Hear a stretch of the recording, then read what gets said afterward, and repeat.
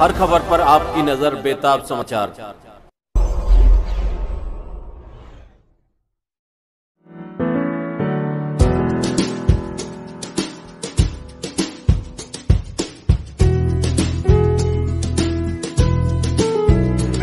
Arif advocate, संभावित Samajwadi party प्रत्याशी नगर पालिका परिषद बहेड़ी। अभी जो रक्षाबंधन गुजरा है, उसकी और स्वतंत्रता दिवस, पिछहत्तरवें स्वतंत्रता दिवस की और आने वाली जन्माष्टमी की सभी नगरवासियों को तहे दिल से दिली मुबारकबाद देता हूँ और साथ ही साथ ये एक संदेश देना चाहता हूँ।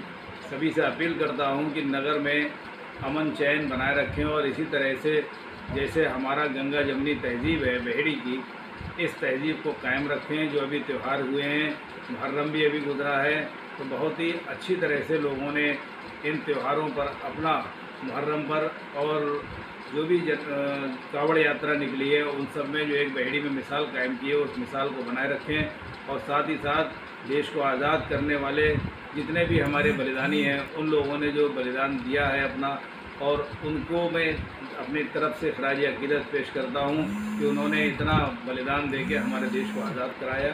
धन्यवाद। Thank you